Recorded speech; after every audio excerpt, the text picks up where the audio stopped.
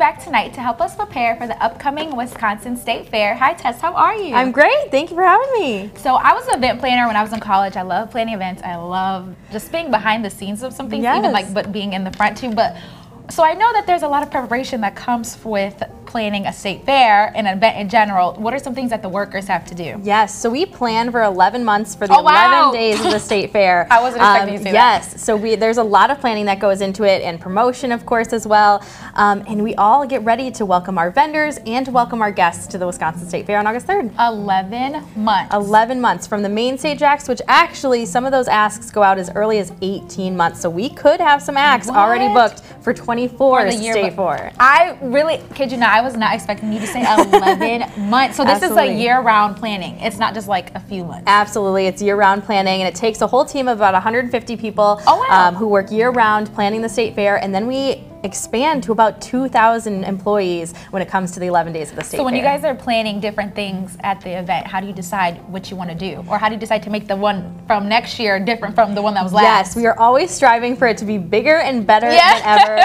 this year we decided to throw in Cirque at the Fair, a brand new show that we're Mm-hmm. doing. We're really excited about that. Next year is 100 Years of the Cream Puff, which is going to be Oh, wow. incredibly it's big. be so we're very excited about that. Um, and there's just so much to do at the Wisconsin State Fair. So attendees, what should they do to prepare to come to the fair? Yes, they should definitely go to wistatefair.com to get the deals as well as our daily schedule, which has all the information Mm-hmm. about what's happening at the Wisconsin State Fair. Some of the deals are fantastic, including one that goes till Friday, July 28th, Okay. for $15 tickets. So we have a little bit of more time, about a day and a half, um, that closes at Before they close. 11:59 on Friday. So make sure you get those $15 tickets. How much are the tickets before?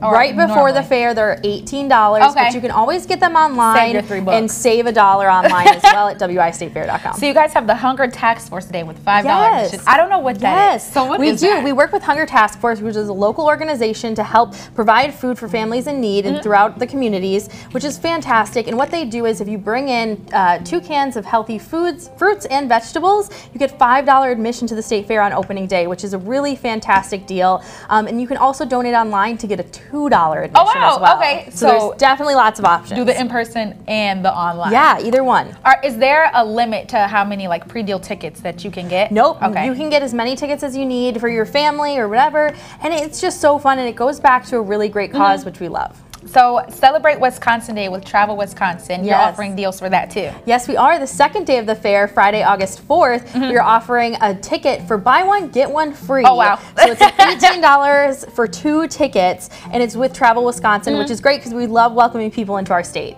And you guys are having the Veteran and Military Recognition Day. Yes, on Sunday, August 6th, we're re- recognizing veterans and military personnel and their families as well with free admission to the state fair on that day. Um, up to three family members. All the details though are on wistatefair.com for all of those deals. So are you able to get those, the veteran and the military one online too, or are those just in person? Those are all in person since Okay. they're free. Yeah, yeah, yeah. You Mine get your ticket well, handed to you right when you get in. right you show in. your ID and you get your ticket handed to you right there. Now, what's your favorite part about planning this event? Yes, planning the event is so fun. It's the people I work with that are Mm-hmm. so great, but my favorite part is seeing everyone's faces when they come Right? in on opening day and we've done it and they love it and they get to see the agriculture shows and so much more. Go to a state fair main stage show, maybe it's their first concert. Getting to see people experience Mm-hmm. those things is so special. So a little birdie told me that Ludacris is going to be there. Ludacris is Y'all, let me tell y'all.